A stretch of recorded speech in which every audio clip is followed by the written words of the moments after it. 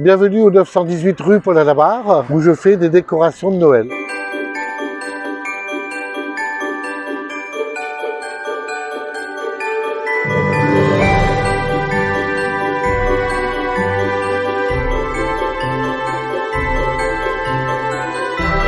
Cette année, j'ai fait Disney.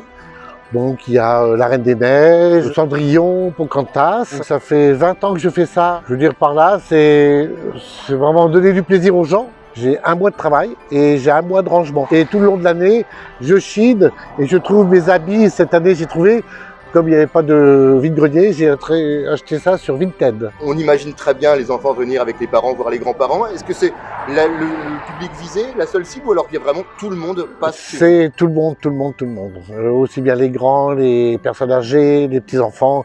Mais c'est vrai, quand on voit le truc, ce sont les petits-enfants qui sont vraiment euh, éblouis par la lumière. Au moment de Noël, c'est 100 à 150 personnes par jour, quasiment, pendant les moments de vacances. C'est là qu'il y a le plus de monde.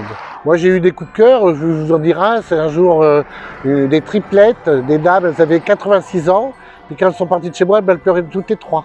Euh, l'autre- C'était une, une ancienne voiture, une, une Austin. Puis un soir, vers 8h15, la dame, se- elle s'arrête puis elle causait. Moi, je regardais pas. Et au moment où je regardais, elle décrivait à son mari qui était aveugle, elle lui décrivait toute la maison. Deux coups de cœur comme ça, euh, dans les 20 ans, je trouve que c'est beau.